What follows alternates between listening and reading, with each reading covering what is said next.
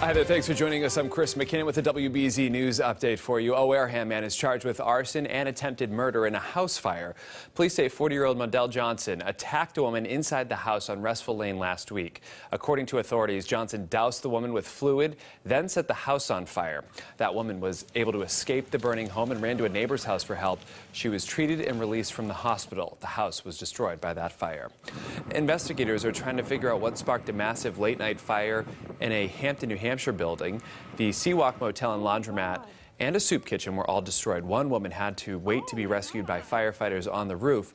The owner says she plans to rebuild the Seawalk. Students at Lowell High School have been dismissed from class because of a gas leak there.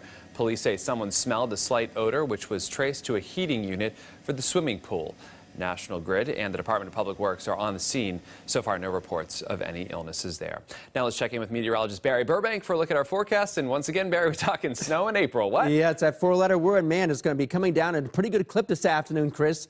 But don't be alarmed. Don't push the panic button. We're not going to have anything like what happened 36 years ago when I was here talking about major snowfall. We were forecasting a big storm that entire week, and man, did it ever come down. More than a foot in many spots. This time around, maybe just a couple of inches showing up on some grassy surfaces or certainly non-paved surfaces. But that snow is going to be coming through and moving through into the Boston area first part of this afternoon, but will be exiting the second half of the afternoon, so it is not going to be long lasting. Eventually, it's going to start warming up. As the snow starts this afternoon, the temperature is going to drop into the middle 30s. And then by late this afternoon, once the snow ends, the temperature is going to start rising into the 40s and probably be close to 50 degrees this evening in much of southern New England as we get some scattered showers moving on through.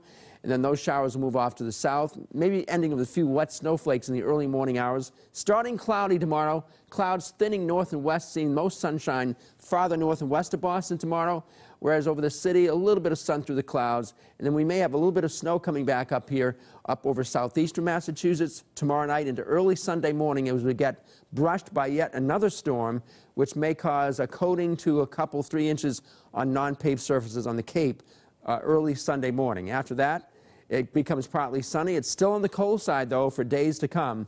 Maybe by the end of the upcoming week, we will warm up, Chris. We'll wait for it, Barry. Thank you very much. And thanks for checking in with us. I'm Chris McKinnon. This has been a WBZ News Update. Have a great day.